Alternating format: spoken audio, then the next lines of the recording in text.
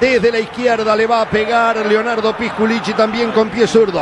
Pondrá el centro con rosca hacia adentro, centro banana. Caerá cerca del punto penal, me imagino. Allá viene el centro, justamente, punto penal. ¡Gol! Marcado.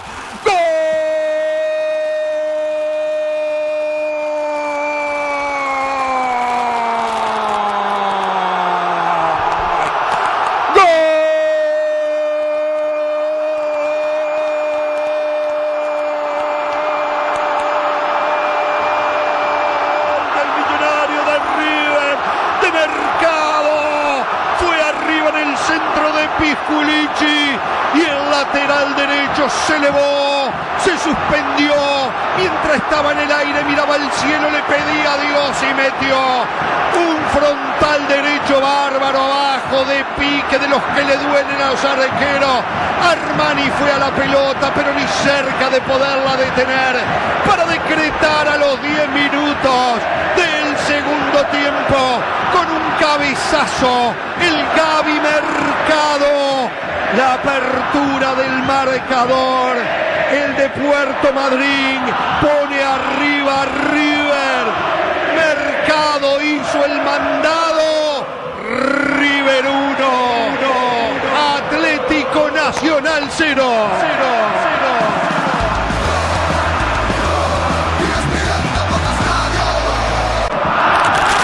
A través del líder mundial en deportes estamos con el relator de las Américas, Jorge Ramos y el comentarista del país, Hernán Pereira, en la final de la Copa Sudamericana. Le pega Pisculici, se va a venir en busca del segundo, misma medicina. Gol otra vez igual. ¡Gol!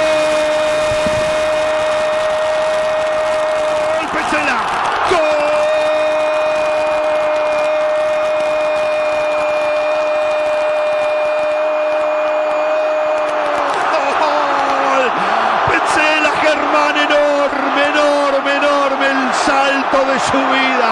El centro de la izquierda, el ejecutante el mismo. Leonardo Pisculici cayó en el mismo lugar, el punto penal. Pero esta vez el que fue más alto, el que fue impulsado por la multitud, el que la banda se le cometió en sangre, ese fue Pesela. Y Pesela fue arriba, giró el cuello, dijo que no.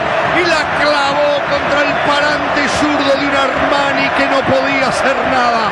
Señoras y señores, el primero fue en los 10, este a los 14, en 4 minutos. River va de cabeza a la Copa Sudamericana.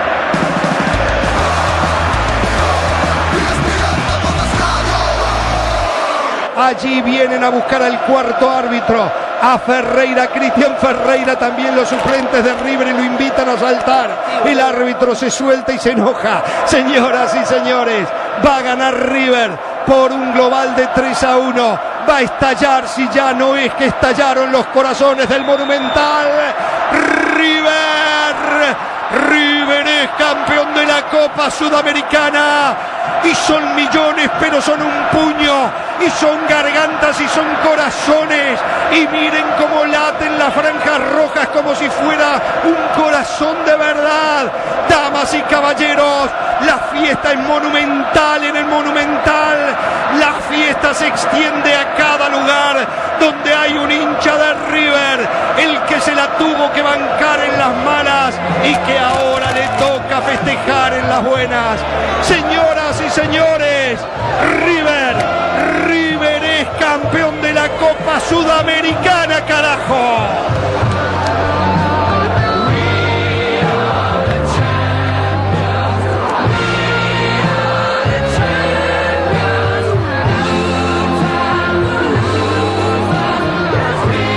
preocupe Pereira, no quiero títulos, no quiero nada, hoy rompo todo. Yo sigo y cuando usted tenga ganas, vuelve. Señoras y señores, allá está, la locura es absoluta y total. Los muchachos saltan, la alegría es increíble. Los niños de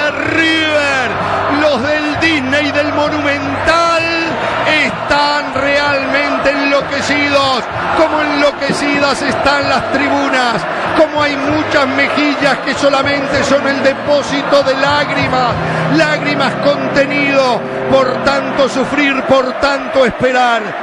River vuelve a estar en lo más alto del fútbol continental, de la mano de un joven técnico, de un muñeco Marcelo Gallardo que está emparentado con su propia vida y estos colores, de un equipo que fue llevado de la mano por el muñeco y que como muñecos ahora le dan alegría a todos los niños del mundo riverplatense. Allí están, allí están, para festejar. River es campeón. Ahí aparecen los fuegos pirotécnicos.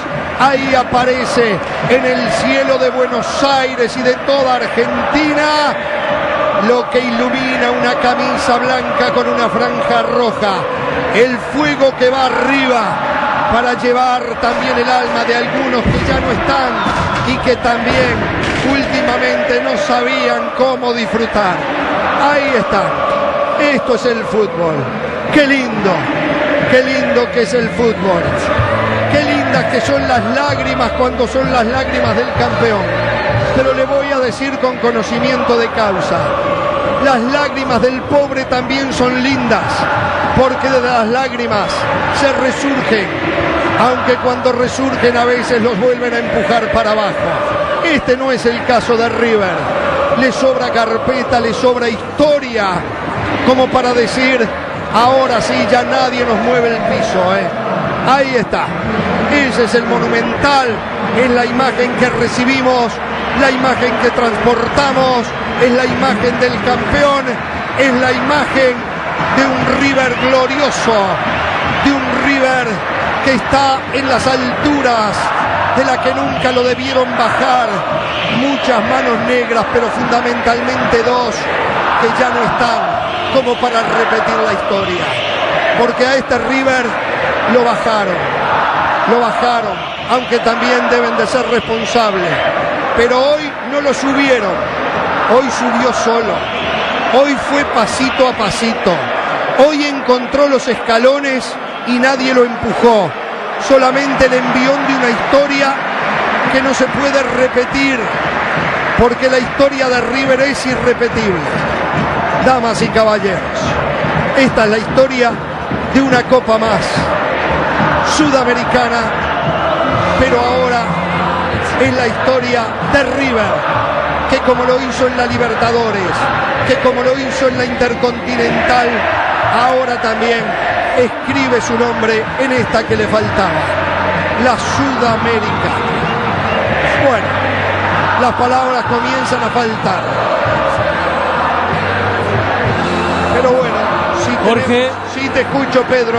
No, Diego, Diego, va a quedar un año cargadito el 2015 para River. Con este campeonato jugará Copa Libertadores, Sudamericana, la Recopa contra San Lorenzo y viajará a Japón para jugar la Suruga Cup.